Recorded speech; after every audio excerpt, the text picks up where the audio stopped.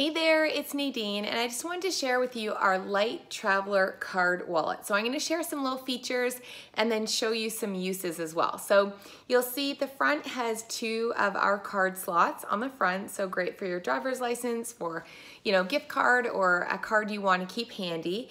And then you'll see it has our lobster claw, which is really convenient as well. And then it zips all the way around here. So it has a great um, opening space too. So um, I'm just gonna share some features that I love. So first and foremost, I love our key fobs.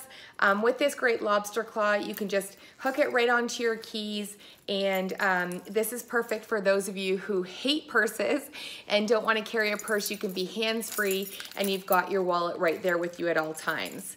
Uh, the other thing that I love about it is that it fits inside of our smaller purses. So this is our half moon crossbody and it won't fit our All About the Benjamins wallet, which I love. So instead, you can throw some cards and some cash, whatever you need in here, and there's plenty of room for other items as well.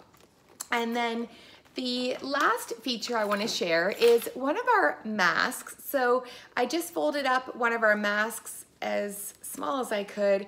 And if you can believe it, it actually fits perfectly right inside of the Light Traveler card wallet, zips up nicely, and then you could take it and have it with you at all times in your purse.